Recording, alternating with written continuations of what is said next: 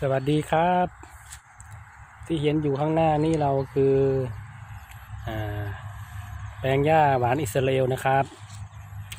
ดูนะครับหลังจากที่เราตัดหญ้าหวานไปไม่ถึงหนึ่งสัปดาห์นะครับ ได้หญ้าก็จะแตกใบขึ้นมาใหม่นะครับ ลักษณะการแตกใบของเขานะครับ ตัดแล้วตัดได้อีกตัดได้เรื่อยๆนะครับ ไม่มีวันหมดสิ้นครับ การแตกหญ้าของการแตกใบใหม่ของหญ้าหวานอิสราเอลนะครับหญ้าไม่ถึงหนึ่งสัปดาห์นะครับ แตกขึ้นมาใหม่แล้วครับผมตีไปคร่าวๆประมาณหนึ่งสัปดาห์ได้เลยครับเนี่ยครับ แตกใบขึ้นมาใหม่ ให้เราตัดได้อีกเรื่อยๆครับระยะการปลูกเจ็ดสิบคูณเจ็ดสิบนะครับสำหรับท่านที่ซื้อไปแล้วอย่าไปปลูกถี่กว่านี้นะครับ เพราะการปลูกหญ้าถี่จะทำให้หญ้าแน่น เมื่อหญ้าแน่นจะทำให้หญ้าโตช้าหญ้าไม่สวย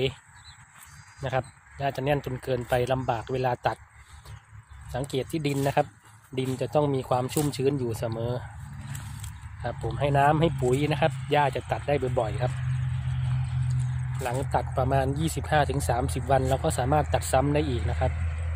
สวยงามนะครับ การแตกใบขึ้นมาใหม่นะครับ